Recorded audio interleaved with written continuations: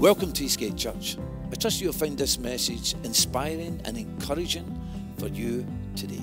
So we're right in the middle of the Feast of Tabernacles. It's the last of the seven feasts. It's a great feast, which is a time of great joy and blessing where everyone should go up to Jerusalem and singing and dancing. And for you who've been in Jerusalem, it's hard to believe that over a year ago we were there, hopefully singing and dancing, enjoying uh, Jerusalem at that period of time. So it comes, it's the autumn feast, and we all believe that the autumn feast is actually foreshadowing the second coming of Christ, and that's yet to be fulfilled. The spring feast foreshadowed his, sec, his first coming, which we've seen. Jesus fulfilled the, the, the spring feast to the letter, to the date completely. And then we are waiting for the autumn feast, which is talking about his second return. Do you know what? Jesus is coming back. Hallelujah. Glory to God. It's the only thing I think that keeps us going. Amen. And so we see again there that people keep saying to me, Oh, Arthur, this is just Jewish feasts and a Jewish calendar. Says, No, it's not. It's a biblical feast and it's a biblical calendar that God has put here in His Word for us. And they say the eighth day, which will go down in history, which we happen to be in Jerusalem that day, is Shemini Atzeret, if I pronounced that properly. That will go down in history because that was the 7th of October last year when all hell broke loose um, that's plunged the world and the Middle East into these, these terrible wars. And, um, and it's only God that can actually bring peace into this situation just now. It seems to be going just getting wider and wider, and who knows how that could open up there. So we can see that himself. In John 7, we could go to John's Gospel, and um, we'll start in the John 7. Do you know, it's, it's, it's, it's amazing that sometimes I always wonder it'd be great to be walking with the Lord Jesus Christ as if everything would have been wonderful. And yet, even Jesus, own brothers, did not believe in him. Isn't that amazing? Well, if you actually grew up with him, I think we have to sometimes put ourselves in their shoes. I mean, they grew up with him, hallelujah. And they, they lived with him and they seen him growing up and doing all the normal things. And Jesus was a carpenter. And I um, mean, he was very normal. He was, he, was, he was a real man. Amen. He didn't walk around with a halo on his head and, he, and, and didn't have to eat or anything, didn't have to sleep. He was just, you know, constant. He was a real man. He, if he hit his finger with a, with a hammer, then it would have been sore. He would have felt pain. He, he, he had real emotions. The Bible says he was tempted in all things, and yet he was without sin. Isn't that amazing? Because Hebrews tells us we've got a high priest in the heavenlies who knows how we feel. Do you ever get, oh, God, how can you know how I feel? And he says, I do know how you feel. I sent my son. I clothed myself with flesh and I gave myself the nature that you have. I took upon myself. Your nature became my nature. Isn't that amazing? Glory to God. So he does understand us. And that psalm that I read uh, to begin with this morning, he knows we are but dust, but he cares for us. He knows us inside and out. And that's scary, isn't it? Because sometimes we think nobody knows what's happening in the inside, what's going on in this little brain of mine. And that scary thing is God does. so sometimes, you know, it's like, God, please cleanse my mind. I don't know what your mind, but my mind can run away with me sometimes, and you know, and you just find all strange thoughts would come. You have to just grab them quickly and say, "Get ye behind me," you know. And um, so, glory to God. We thank God that there's a God who understands us and goes before us. And we can see here these brothers. You know, it was the feast of tabernacles, and it was in chapter seven. And his brothers, you know, who didn't understand him, and says, you know, why aren't you going up to Jerusalem? You know, you want to be a public figure you better go. That's the place to be a public figure. Go there to Jerusalem. And Jesus says, My time's not ready. Any time's good for you, but not for me. And his brothers went ahead of him. And, uh, and it says, Jesus stayed behind. And um, but it says a little bit later on, but in verse 10 we'll break in. It says, But when his brothers had gone up, then he also went up to the feast, not openly, but as it were in secret. We would probably say under cover. Amen. And then the Jews sought him at the feast and said, Where is he? And there was complaining among the people concerning him. Some said he's good, others said no, he's not. He's contrary, he deceives people. However, no one spoke openly about him for fear of the Jews. You know, there's always somebody controlling the narrative. We see people controlling the narrative just now. Do you know it's getting worse in our country now? You need to be careful what you, what you say, what you don't say, because somebody's watching us and you could get into trouble if you say the wrong thing. Or, and now we're even hearing thinking the wrong thing. We see people now are actually getting penalised well, they're in a zone where they know they shouldn't be, so they're putting two to two together. Someone's praying outside an abortion clinic, and um, so they're you know saying that he's no right to be standing there at all. So we need to he needs to that space and protect that space. But the thing that really caught my attention here was, you know, Jesus was moving about the crowd, but nobody knew who he was. He was just mingling with the people and he'd be listening to this and listening to the next thing and hearing everything that was getting said, and yet nobody knew he was there. Do you know, it's, it's a little picture of what's probably taking place today. You know, Jesus is still moving amongst the people of, this, of, of the world. And yet the world doesn't know he's there. But he is there. He's moving amongst us and probably testing us and watching us and listening to us and hearing what we're saying, you know, and where we're, where we're at and where we're not at. The, the invisible Christ, yes, he's in heaven, but he's here also by his Spirit. He indwells all of us, those who are believers in the Lord. But he's still moving to and fro upon this world. He hasn't vacated the world and it's all the devil, the devil. It's the Lord is the Lord of glory, and He's moving amongst us. He's moving across the world, and He's He's watching the world. I love that little scripture. Well, it's not really the greatest scripture. It's a very sad scripture in Book of Genesis, I think it's Genesis six, and it says the Lord looked down from heaven and He seen the wickedness of man, and it broke His heart. It says His wickedness had reached a peak now, which was beyond the the, the normal. And it says he broke his heart, and it says he, he made a decision he was going to destroy the world. But it was God looked down at mankind, who he created in his own image. And they so turned far away from God that they become so terribly corrupt. It broke the heart of God. Amen. I don't think we'll ever plunge the depths of that and how important that man is in far as in the sight of God is. For we were created in his image. Glory to God. We were the image bearers of the living God.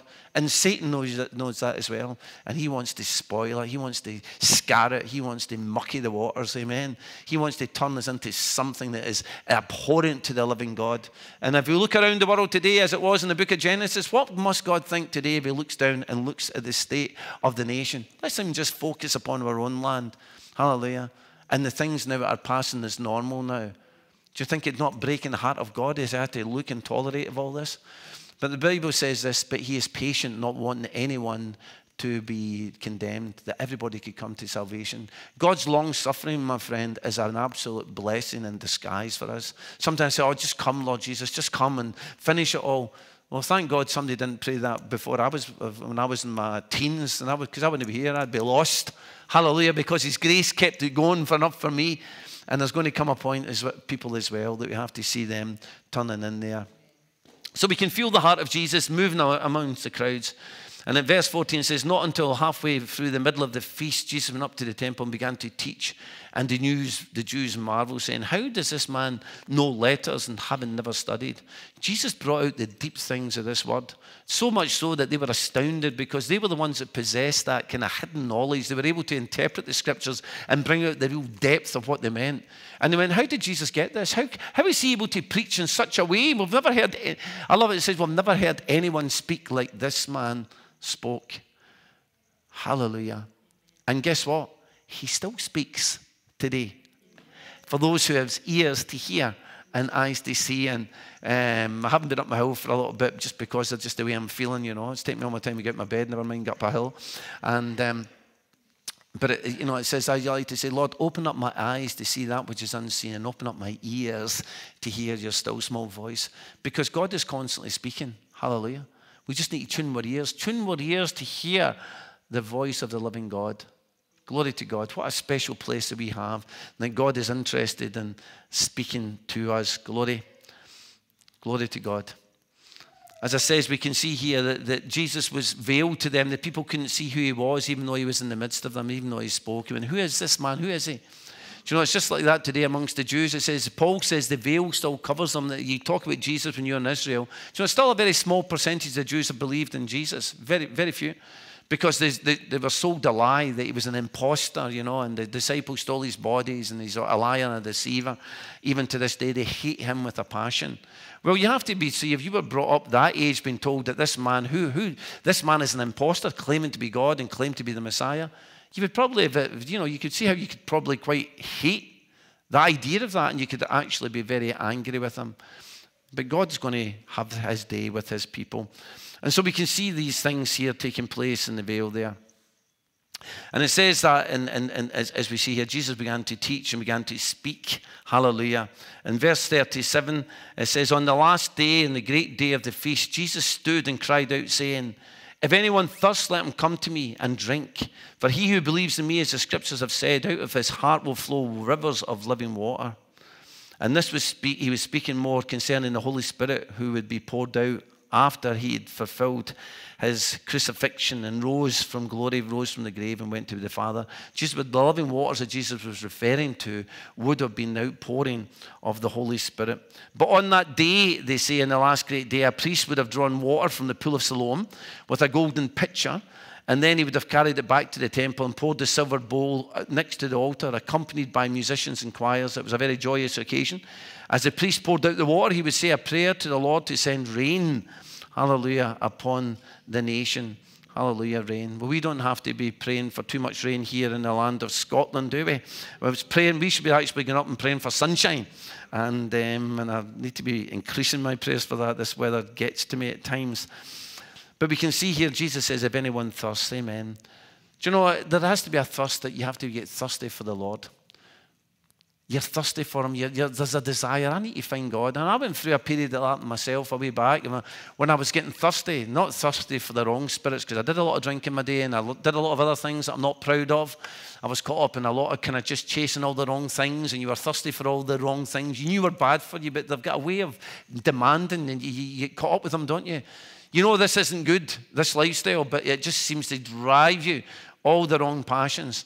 But then there was this part where God started to get a hold of me, and I get thirsty for the Lord, and I started going to meetings, and I was I was looking for God, and you know, and crying out to Him, Hallelujah. More importantly, He was looking for me. Glory to God. So Jesus said, if anyone thirsts, then he says, you know, that he will give us what? The living waters. Glory to God. We know that Jesus spoke to a Samaritan woman very early on in John's Gospel, chapter 4. Remember the Samaritan woman, she came to the well and Jesus says, You know, give me a drink. And she says, Why'd you ask me for a drink? Sort of thing. Jesus says, If you knew it was talking to you, you'd ask me and I would give you living waters. Hallelujah. I would give you living waters. And she says, Sir, give me these waters. He says, He who drinks this water will never thirst again. I tell you this, when you get God in your life, I want to tell you, it will complete you. Amen. You don't run after the wrong things anymore. They just they just flow away from you. And all of a sudden now there's a new life flowing within me, and it's the life of God. Hallelujah. I always thought, I, you know, I, I could never really chuck the fags or chuck this or chuck that. I don't want to say too many chucks, but there's a lot of chucks in there as well, threatening to chuck this and chuck the next thing. But see, when Jesus comes in in the fullness and God touches you by His Holy Spirit, all of a sudden, all these things that I was wrestling with, I need to stop doing that and stop doing that, it just flowed away from me. Hallelujah. Glory to God. It was it because why? Because it was a new life flowed within me and it brought joy and brought completion. Everything that I was looking for was just peace and happiness in my life and within myself. Glory to God.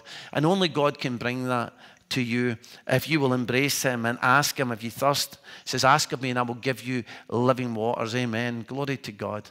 Thank the Lord that he's still pouring out living waters today. And the stained glass windows behind us is actually Hebrews 4 um, 12. And it talks about the word of God is living and active, sharper than a double edged sword penetrating soul, bone marrow, soul, spirit, judging the very thoughts and attitudes of the heart. And one side you'll see fire, another side you'll see water. And basically, then the sword is the word of God and water and fire on the other side is the Spirit. So you can't have one without the other. You need the Word and you need the Holy Spirit. You, you need both. Amen.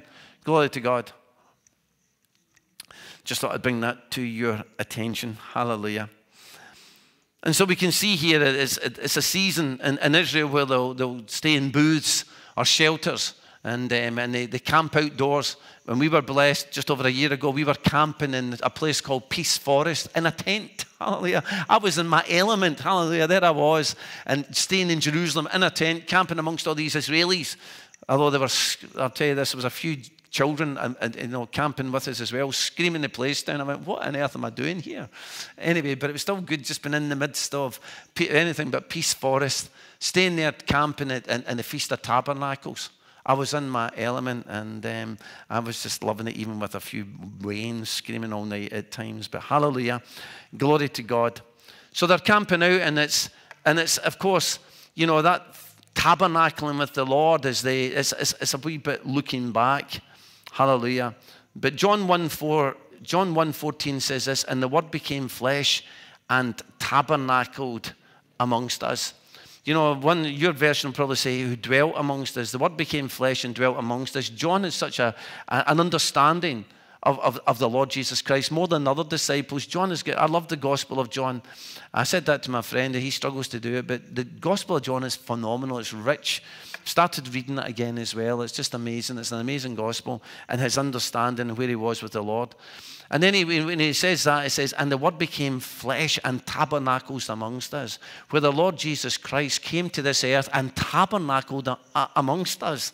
You know, some people believe, and I'm one of the ones who happen to believe that as well, that I believe Jesus was born at this season, at the Feast of Tabernacles. You know, nobody really knows when he was born, although he, we did get the reputation of Christmas on the 25th of December. But actually, the Bible never tells us completely. But really, if you probably had to have a guess, then the Feast of Tabernacles would have been the time that Jesus would have been born because he came to what? tabernacle amongst us. He was born into this world, and He came into this world to tabernacle with us, to dwell with us, to become part of us. And, um, and therefore, I would say that was a very good guess if we wanted to put a date on that. Hallelujah. The presence of the Lord dwelling amongst His people, again, like He did in the desert. God living amongst us, just as He did with the Israelites in the desert when they traveled with the Lord, when He brought them out of Egypt, and that's when they've got to look back. I've got down here dates and times and seasons are very important. Dates, times, and seasons are very, very important to the Lord. They're very important to the Lord. That's why the Lord has given us dates, times, and seasons. That's why you have the feast of the Lord.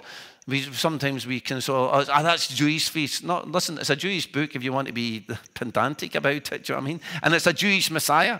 I might add as well. Hallelujah. But there's so much richness within them. Glory to God. And Satan knows that as well. That's why he wants to change them or replace them. Amen. He wants to mix them up because if he can change them and move them and replace them, then we lose sight of the deepness of the Hebrewic meaning. So often it gets missing to us. We had a guy here through the week, um, Aaron uh, Aimee. And I always, the, the girl that told me to pronounce his name, she just says, just say I, me, I, me. Dead easy when somebody tells you how to pronounce somebody's name. You look at initials and I'm going to embarrass myself here. And, um, but can I tell you this as well? In fact, Daniel 7, I forget what verse it is, it says Satan tries to change the times and the seasons. And, he, and, you know, he's always trying to change the times and the seasons. God is very particular about times and seasons. Hallelujah. God doesn't miss a beat. Therefore, we have their Christmas. So, what is the feast about? The feasts are all about looking back, and also it's about looking forward. And that's what, again, what we see here in the Feast of Tabernacles. It's about looking back and reminding themselves of where they came from, but it's also looking forward to say where they're going. Amen. And it's always a good picture to find ourselves in, and I want to bring that to us even this morning. Sometimes it's always good to look back and remind yourself where you came from before you get too big for your boots. I remember where I came from, and I wasn't doing too well. Amen. You know, I mean, I wasn't crawling about in a gutter, but I want to tell you this. Well, maybe sometimes I was, to be truthful. But what I just want to know is I remember where I came from, and I know where I am, but the most important thing is I know where I'm going. Amen. So no, it's not just about where you came from, but really it's where you go. It's where you're going. And this is the thing about the Jewish people. that makes them, they, they're always looking back, right back to their very roots and where they started. Father Abraham. We'll go back to Adam, but they'll go back to Abraham and they're reminded of the journey, the journey through time that God has taken to them, brought them into Egypt, then brought them out of Egypt, and then their wanderings for 40 years in the wilderness. And that's when they remember this Feast of Tabernacles. Remember their people for 40 years they lived in tents or booths in a desert area where God took care of their every single need. Their whole need was completely and utterly taken forward. You know, the Bible says their shoes didn't wear out. I wish I had a pair of shoes like that. 40 years in the wilderness, walking across rocks and things like that. And it says their shoes did not wear out. And he fed them with bread every single day. And yes, they had a wee bit of thirst going on now and again, but every now and again, God opened up the rocks, and all of a sudden, a big river just appeared. He took care of them in a God forsaken wilderness. And I've been in that kind of wilderness zone. You always think it's sand. It's not. It's rocky and it's wilderness. It's bleak.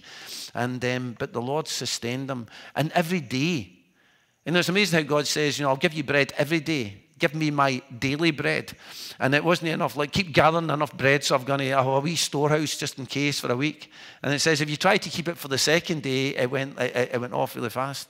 So every single day, they were dependent upon God for their daily bread. God made them dependent upon Him. Hallelujah. It's a great place to be dependent upon God. Sometimes, you know, when things is going too good for us, you know, and everything's nice, get running about with plastic cards, you know, tap it. I mean, it's, it's, you don't feel as if you're spending money. You just go, uh, tap. you know, you might look at this. They make it so easy, isn't it? But you know, I, you know, I, I remember the days when, the, when, I'm, I'm, when I'm, I'm, going down the side of a couch to find some money because I'm skint and I've got nothing, and I'm oh God, please God. I didn't like those days, but you know something? They were special days because it made me dependent upon God every single day. You know, I ran a wee business once and I was always struggling for periods of time. And, um, and I used to always monitor God. I said, God, I'm, I'm doing my best. I'm tithing. And, you know, and you're always just looking for a break. And when's the break going to come? And, do you know, and but do you know something that I always said? People used to say to me back then in the church, there was a kind of week, there's a wee lull came into the church, and people said, oh, I'm a wee bit backslidden today. I'm a wee bit. And it just basically meant they took their foot off the accelerator. You know I mean? Take their foot off the pedal a wee bit, just oh, come on. And they just seen them kind of, they just weren't kind of on the pulse. You ever get that? You're just no, you're not just no, you've not got your finger on the pulse. And I remember I used to say, I mean, I can't afford to be lukewarm and back, a wee bit backslidden. I needed that phone to ring. I needed things to, and, you know, I was just so dependent upon God. It was like, you know, and you know, when I look back in them, they were, they were difficult days, but thank God for them. Do you know why? Because it made me trust God. Rather than because, you know, you get too much, you can just think, oh, ah, well, I don't really need God for today or next week. Isn't that interesting when the Lord says, when I'm bringing you into the promised land, He says, I'm going to, I'm going to bless you abundantly. He says, you're going, to have a, you're going to have everything you need. He says, but I want you to tell you this, when the day, that day comes, you'll forget about me. You'll become fat and, and you'll become you know, self-sufficient and you will then begin to forget about me. You know, that's the danger. And thank God for resources, and it's how you handle the resources. Even when God blesses you, and listen, God will bless people. In fact, God will raise up millionaires. I mean, God hasn't a problem with us having money. The big problem is when money's got me. And, and all of a sudden, then, uh, you know, it runs away with me. And all of a sudden, now I'm running away after it and just getting caught up in all the wrong things. Hallelujah. God will always make provision for us. And so when they're thinking back, and we're going to have a little look back now. We'll go to the book of Exodus. I don't know about you. I was, I was, I, although I was feeling like a bus couch, and see, the time I was doing this wee study, I started to feel better. so hopefully you're going to feel better as well if you're feeling like a half-shut knife or a bus couch, and um, that you might be feeling a little bit better at the end of this. In Exodus 25, and we'll read the first nine verses. It says, Then the Lord spoke to Moses, saying, Speak to the children of Israel, that they will bring me an offering. From everyone who gives it willingly with their heart, you shall take my offering. And this is offering which you'll take from them gold, silver, bronze, blue, purple, and scarlet thread, fine linen, goat's hair, ram's skin dyed red, badger skins, and acacia wood, oil for the light, and spices for the anointing oil, and for the sweet incense, stones and stones to be set in the ephod and in the breastplate. And let them make me a sanctuary that I may dwell among them. According to all that I show you, that is the pattern of the tabernacle and the pattern and all of its furnishings, just so that you shall make it. Hallelujah. Well, all of these goods that they were to bring were all for the construction of the tabernacle because God was going, he says, because God says, I want to live amongst them. Isn't that amazing? That God says, I want to live in the midst of my people. Glory to God. And they were going to build for him a tabernacle so God could dwell in their midst. And this was in the wilderness when they were traveling through the wilderness. Glory to God. Amazing. Let me just read another little verse here. So I'll go up to verse um, chapter 29, and we'll read another couple of verses here. In verse 43, it says this And there I will meet with the children of Israel, and my tabernacle shall be sanctified by the, my glory. So I will consecrate the tabernacle of meeting and the altar. I will also consecrate both Aaron and his sons to minister to me as priests. I will dwell among the children of Israel, and I will be their God. And they shall know that I am the Lord their God, who brought them up out of the land of Egypt, that I may dwell among them, for I am the Lord their God. God wanted to come and tabernacle. God wanted to come and set up camp in the midst of his people. Just one little verse up here, and um, well, I'll read it here. I've got it down here. Leviticus 26 as well, it says this and 11, it says, I will put my dwelling place among you, and I will not abhor you. I will walk among you and be your God, and you will be my people.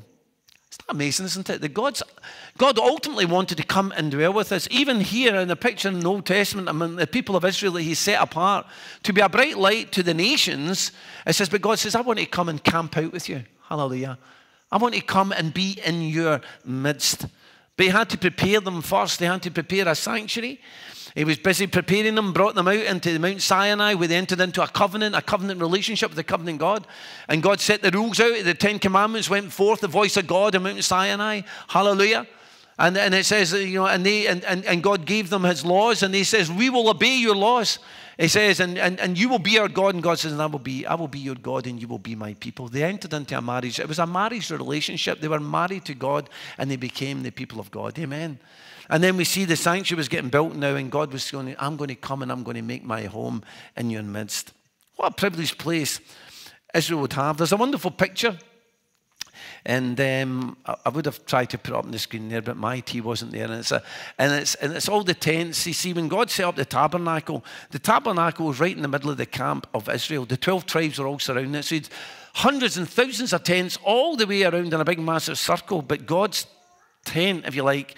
The tabernacle was surrounded by this tent, right in the midst of it. Hallelujah. And the presence of God was right in the midst of his people. So they were all camped all round about this, and the presence of God was right in the middle of the people. Isn't that amazing? That God would be right in the midst of his people. Because guess what? That's where God wanted to be, right in the midst of his people. Hallelujah. In the midst of us.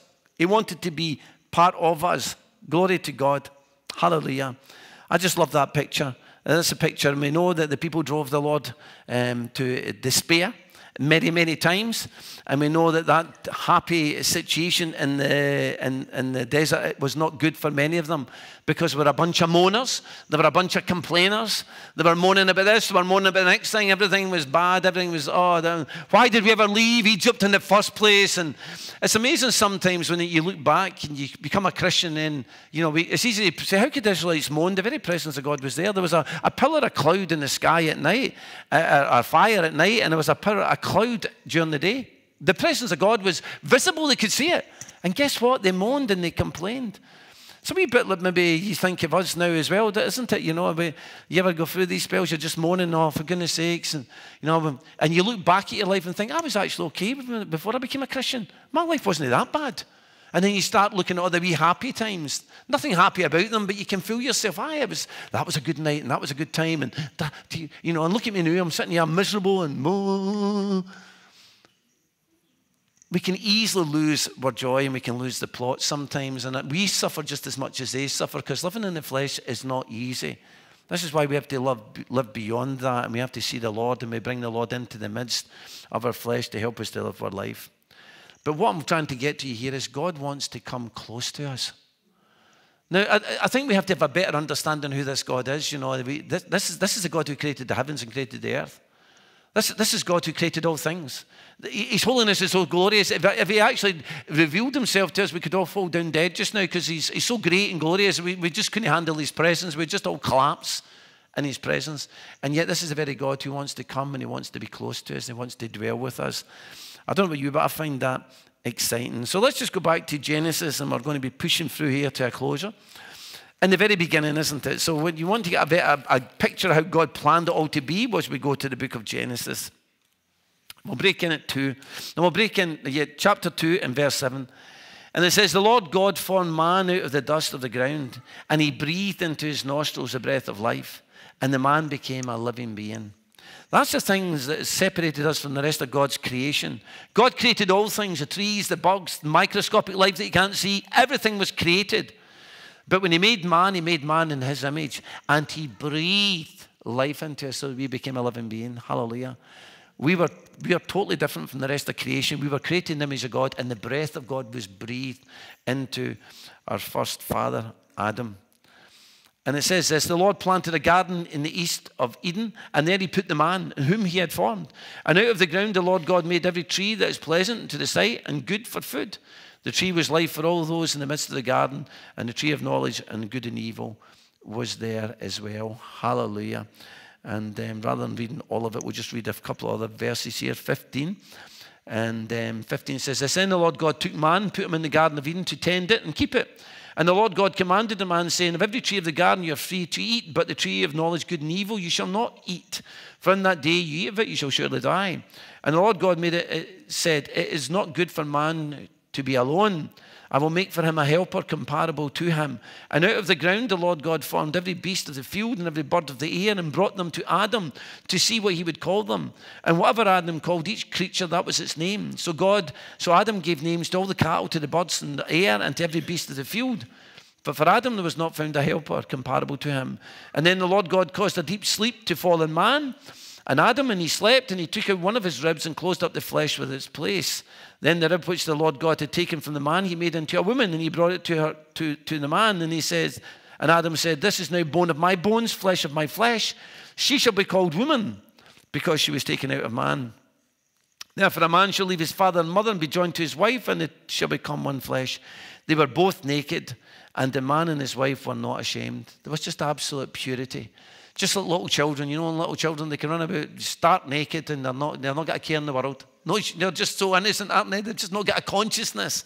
And if you like to take that back, when man was first formed and they were so pure, or even in their nakedness, there was just no, there was no, there was no any compensity to evil. They were pure, absolutely pure in the presence of God, and there was no shame. They were made wonderfully. Now you can imagine that scene back then. We don't know how, how long Adam and Eve lived before the fall. But Adam had a wonderful relationship with God. He brought him to all the animals and he named all the animals. And there was quite a lot of animals. And so he had, a, he, had a, he had a relationship with God where God came daily and he had connection with God because God wanted to create him in his image for fellowship. Hallelujah. We were made for fellowship that God wanted to commune with us. Hallelujah. Do you know, women, that's, a, that's, that's one of these questions. Maybe somebody will ask you that. So everybody thinks we're all made from the dust of the earth, but women, you were not made from the dirt. Amen. Men were made from the dirt. We were made from the dust. But you are special, ladies, because God made you out of one of man's ribs. So we came from the dust, and you came from a rib. Hallelujah. So glory to God. I don't know if that's a good thing or a bad thing, but I'll leave that with you to make up your mind in that. But that's interesting, isn't it? That didn't because he made all the animals. All the animals were all made out of dust eh, from the dust of the earth, and you know. But it says, for women, he chose to put the man asleep and took one of his ribs. And, and I think that's the symbolism is that, that a woman was meant to be at the side of man, so she's the rib being at the side, isn't it? And she is part of man. Amen. They are one. God brought them together and they become one, so they become knitted together. It's a wonderful picture, and I'm sure there's so much more we could get into, but we won't there just now. We'll just jump up here and we'll read 1 and 3 and 8, and it says this Once they'd eaten of the tree and they'd fallen, it says, They heard the sound of the Lord God walking in the garden in the cool of the day, and Adam and his wife hid themselves from the presence of the Lord among the trees of the garden. Why? Because all of a sudden now they disobeyed the commandment of God, sin came in, and all of a sudden now when the presence of God came, we hid from the presence of God. Can I tell you this? Sin will always separate you from the presence of God. Always. You know, whenever you take your foot off the accelerator, you get caught in things you know you shouldn't get caught on. I want to tell you this you won't feel that close to God. Amen. All of a sudden now it's like, I don't feel the presence of God. And sometimes when you don't feel the presence of God, it's always good to have a healthy checkup. Amen. And just say, I need to check myself up here and just have a look at myself. Is there something going on in my life? Am I missing something? When you don't feel that presence of God. Sometimes you just uh, you just have to. Sometimes it's like that. There's seasons where you don't feel God. Doesn't mean say God's not there. It just means sometimes you'll hit those seasons. Sometimes you're on the mountaintop. Sometimes you find yourself in the valley, and it just comes with the turf. But can you see that wonderful relationship now was broken? That they had a great relationship with the Lord. Hallelujah. The intimacy that God had with His man and His woman. Do you know that's what God wants for us? God wants to have a living relationship with an intimate relationship. I don't know about you. Do you ever feel that I'm, I'm not worthy? you know, and I don't, and you know, no matter how good you feel, but in the light of God, you think, oh, I, I just, I'm not worthy to have that relationship with God. We, we read about the, you know, you know, Jacobs and Abraham's and Moses and, you know, and David's and all these, you know, but sometimes deep within yourself, you know, ah, Lord, I just don't feel worthy to have that relationship. Do you know something? We have to see it from God's perspective. You are worthy because you were created in His image. And, and He loves you. See, the trouble is, we have to try and, you know, we, we have to try and, and I think that's why, I remember someone once preached a sermon and says, you need to, you know, you, you need to love yourself. I always seen that as negative. Oh, to love yourself means to be, you know, as if, you know, oh, I'm in love with myself, mirror, mirror on the wall. And, you know, you stand there and you stare at yourself and you think, oh, how good do I look? It's not about that. Loving yourselves actually, just, just having, you know, to be able to love yourself. It says, men, love your wives as you love yourself.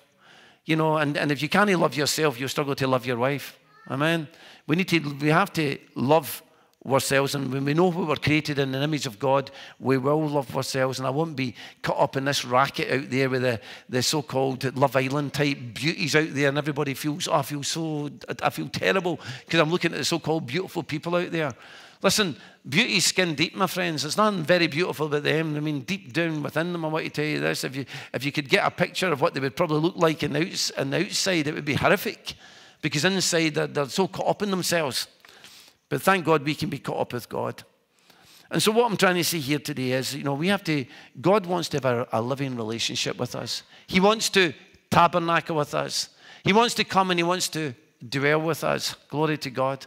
He wants to have that unique relationship with us, a special relationship, and we need to open up our hearts to eh, bring him in. Amen. To bring him in and reach out to the mighty one who reached out to us.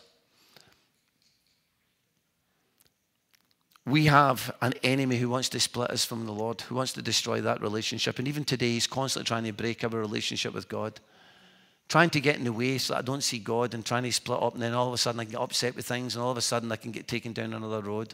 Just as he did with Adam and Eve, Satan is very busy trying to destroy anybody's relationship with God to get in the road with you, and that can come in many shapes and forms to disturb that. But the great thing is that God is constantly reaching out to us. Glory to God. God was determined to bring us back into fellowship Amen. God was determined to bring us back into fellowship that He might freely walk amongst us in the beauty of holiness. Do you know something? We were created for the presence of God. That's a cracking statement. We were created for the presence of God. We were created because God wanted to come and have a fellowship with us. God wants to come and dwell with us. God wants to walk with us. God wants to share our life. God wants to talk with us. God wants us to come and sit and talk with Him. Hallelujah. And have a conversation with Him. Isn't that amazing when you can have that relationship with God that you can just pull aside and you can just, you can sit there and unbear your heart before the living God? Even though He's invisible, He's very, very real. God has poured out His Spirit upon us brothers and sisters. And I want to kind of remind us that again, even at this particular feast, when Jesus says, If anyone thirsts, let him ask of me, and I will give him living water. Amen. Which means is I will give him of the Holy Spirit. Glory to God. A deposit. The Holy Spirit is only a deposit. A deposit of what? Guaranteeing the glorious future that awaits the children of God. Amen. Do you know there's a glorious future awaiting for us? Every single one of us who believe in the Lord Jesus Christ, there is a future awaiting for us. The Holy Spirit, what we have just now is nothing in comparison to what is waiting for us. Amen. We are going to be transformed.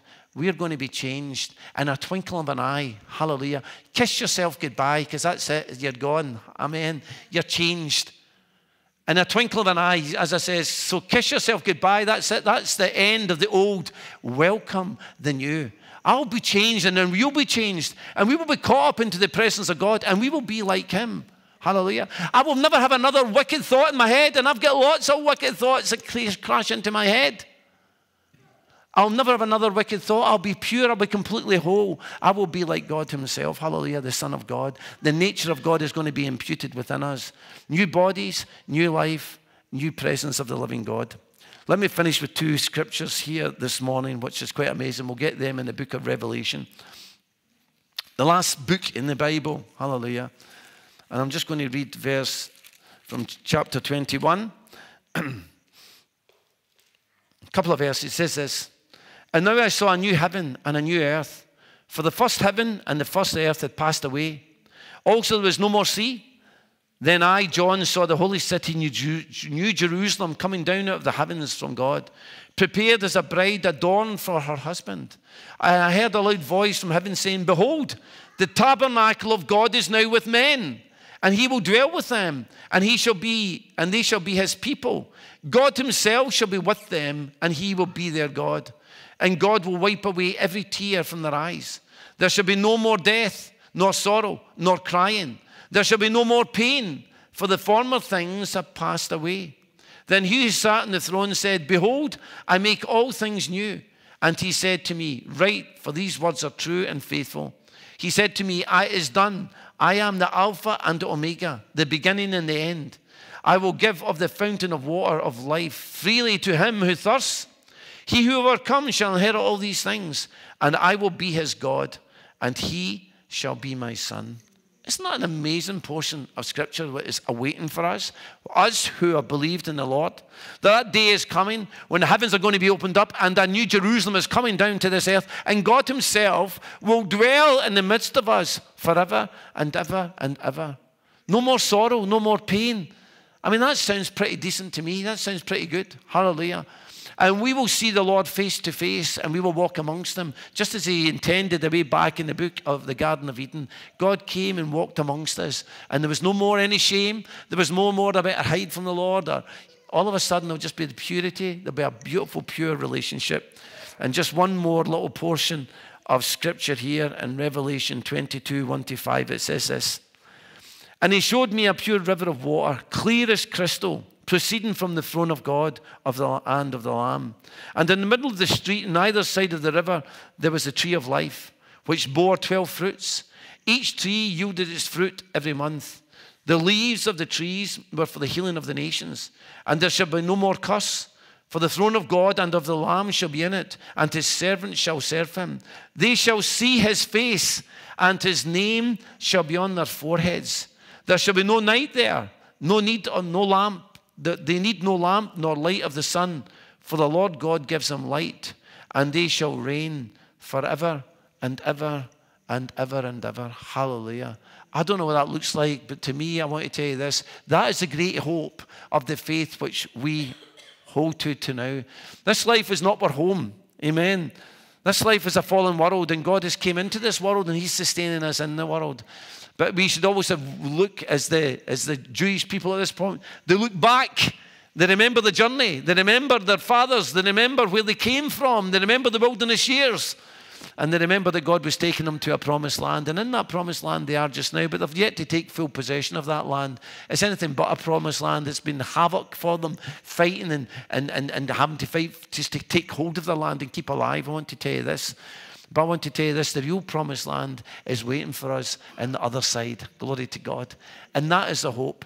We need to keep going back to this and have a look back, but more importantly, look ahead. See, when you look ahead and you see the reward for those who are serving God, amen, it will keep me pressing in. It will keep me going forward. It will stop me from going backwards or going sideways or going that way.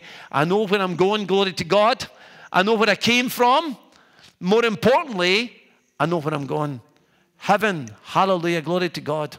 A new life, a completely new life. And it's one that's waiting for us forever and ever and ever. For all those who believe in the Messiah. Can I encourage all of us this time and season that God wants to dwell with you? In fact, you need to go home and look in the mirror and say, God wants to dwell with me. Talk yourself up because it's still good to talk yourself down and say, Oh, I'm unworthy, unworthy. Listen, He knows us. And none of us are going to be perfect. Can I tell you that just now? None of us are be. But see when you know that you just how, how God sees you and how God loves you. I want to tell you this, it makes you, it just makes you feel better. Glory to God. And sometimes I think the devil's got enough time making us feel bad. He's good at making you feel bad, making you feel unworthy, and you know you're no good, and you know God doesn't want you. God will never have a relationship with you, pal. Forget it. And you know, or if He does, you're away out there in the sticks. And He's robbing us from a very personal intimate relationship. That's what I want you to say to you this morning. And I'm listen, I'm talking to myself here. God wants to have a very intimate relationship with me. But I'm the one, I'm the stumbling block. I'm the one that's kind of, you know. See when you see yourself as God sees us, hallelujah, it will change everything. It will change everything as we see ourselves as God sees us. He knows us. He knows us inside out. And guess what? He chose to die for us. Amen. To reveal his son in us. Glory to God because He wants to have a relationship with us here, not just in heaven, here, here. He's given us of His Holy Spirit. I can have a relationship with the living God. That's exciting, and I need to excite myself. Amen. Thanks for watching. If you've been challenged today, then please drop a message so that we can help support and pray for you. And also, remember to subscribe to our channel so you don't miss the next message.